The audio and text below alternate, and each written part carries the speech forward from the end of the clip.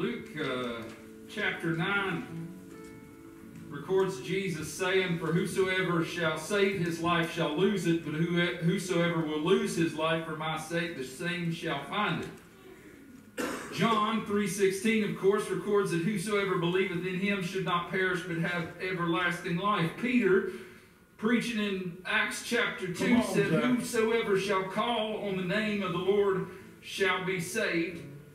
Paul, writing in Romans chapter 9, said, Whosoever believeth on him shall not be ashamed. And I am so glad that whosoever meaneth me. Amen.